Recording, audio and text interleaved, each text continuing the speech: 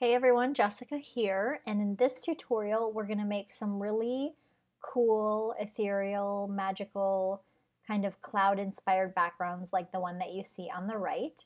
And in a previous tutorial, I had actually um, derived a color palette from this Schiaparelli couture dress, and I really focused on these bright kind of um, bright rainbow colors down here and I think they're really nice. So I made a pre-made color palette for all my members.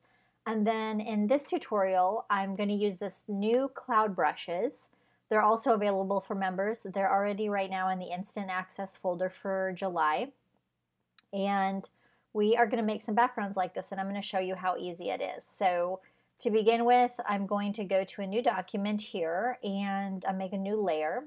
And first off, uh, like uh, per usual, I'm going to go over here to my pattern stamp tool and make sure that Impressionist is checked.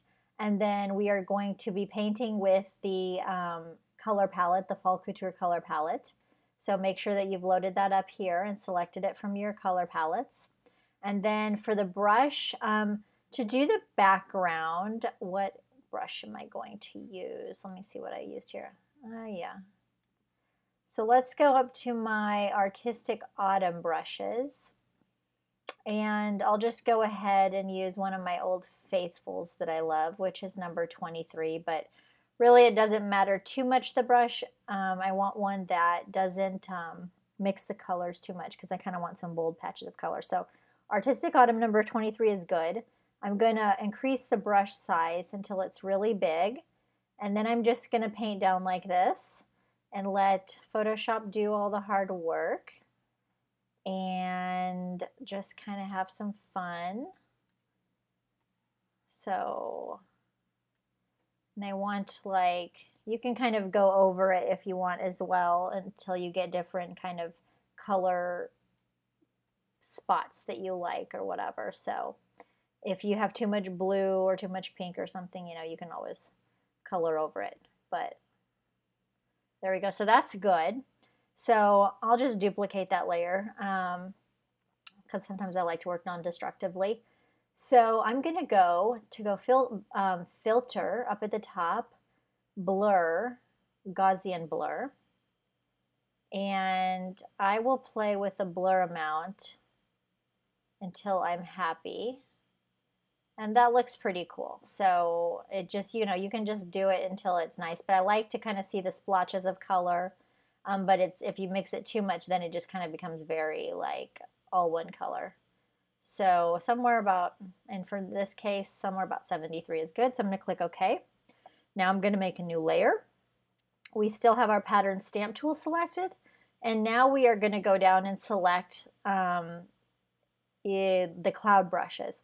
So I have two new cloud brushes in the July Instant Access folder, Cloud Scatter 1 and Cloud Scatter 2. And Cloud Scatter 1 is just a bit like thicker of a when you're painting and then the 2 is like more lighter. So I'll just show you the difference. And I'm using the same color palette so I just love these color palettes because it does all the work and it looks like you really did so much, but you know, we let Photoshop do the work. So here's Cloud Scatter 1 and it's quite beautiful. And then here's Cloud Scatter, oops, undo that, Cloud Scatter 2, and it's more light, a little more sparse. So I'm to cut that, and I'll just go to 1, and I'll kind of go through here and just, you know, paint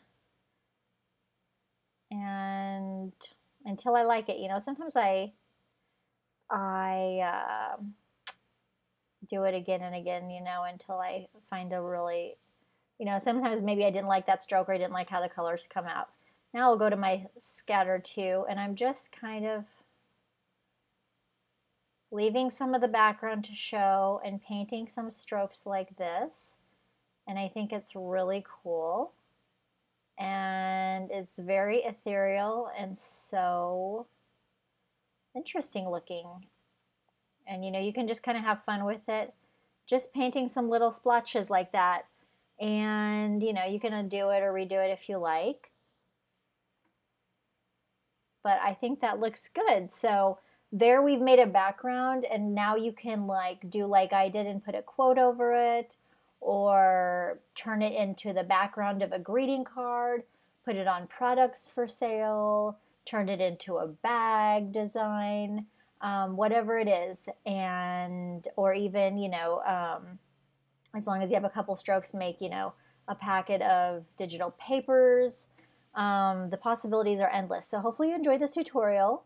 And don't forget all of the resources that I'm using are available for the All Access members. And then if you have any questions, um, just let me know in the comments. And then also I'm going, I've already made some, uh, a little mini pack of these papers. So just in case um, you want some ready-made, I'm going to have that available soon in the instant access folder and then also available for sale on my site as well. So hopefully you enjoyed that tutorial and stay tuned for lots more.